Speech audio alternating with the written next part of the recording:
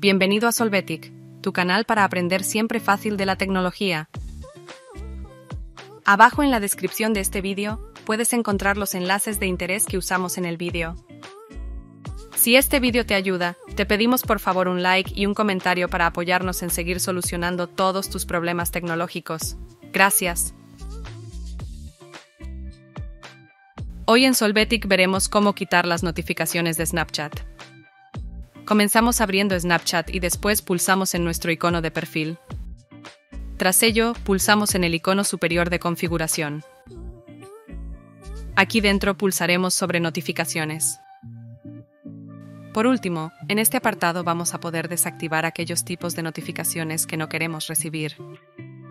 ¡Hey! No olvides suscribirte al canal de Solvetic.